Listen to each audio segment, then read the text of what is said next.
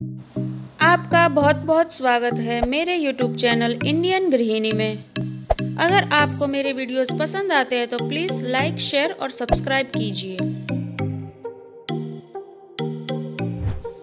आज मैं आपके लिए लाई हूँ बथुआ की पकौड़ी वाली कढ़ी, जो कि नॉर्थ इंडिया में ज़्यादातर पसंद की जाती है। तो आइए देखते इसकी रेसिपी सबसे पहले हम बथुआ को बारीक काट लेंगे, उसके बाद पानी में अच्छे से धो लेंगे। फिर एक उबाल आने तक या फिर पाँच मिनट तक हम इसको बॉईल कर लेंगे। बॉईल होने के बाद अब हम इसको छान लेंगे। अब कढ़ी बनाने के लिए हम खट्टा दही लेंगे। उसमें बेसन डालेंगे और फिर उसमें स्वाद अनुसार नमक, हल्दी पाउडर और लाल मिर्च डालकर उसका बैटर रेडी कर लेंगे।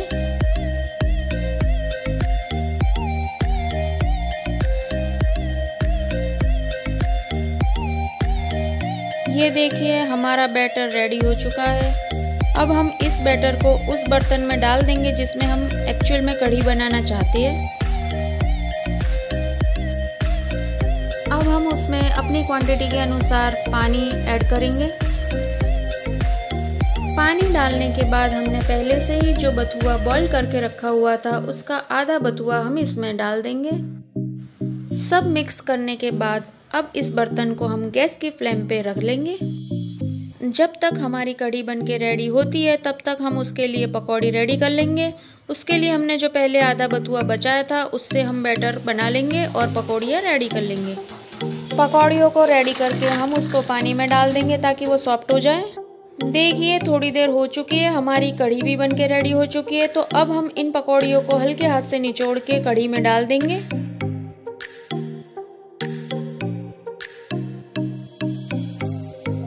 अब हम कढ़ी के लिए तड़का रेडी कर लेंगे। तड़के के लिए हमने एक छोटे पैन में घी ले लिया है और फिर घी गर्म होने के बाद हमने उसमें जीरा, मेथी, हींग, सूखी हुई लाल मिर्च और लाल मिर्च पाउडर डालकर हमने तड़का रेडी कर लिया है। आप चाहो तो तड़के में प्याज, टमाटर, अदरक, हरी मिर्च भी डाल सकते हो। वैसे इसका जो ट्रेडिशनली टेस्ट है वो हिंग से आता है। तो आप तड़के में हिंग डालना मत भूलिएगा। देखिए कितनी माउथ वाटरिंग टेस्टी बथुआ की पकौड़ी वाली कढ़ी बनके रेडी हो गई है। अब आप इसे बाजरे की रोटी या फिर सादा रोटी और चावल के साथ गर्मा गर्म परोसिए और इसका लुत्फ उठाइए। अगर आपको मेरी ये रेसिपी पसंद आई है तो प्लीज़ इसे शेयर कीजिए।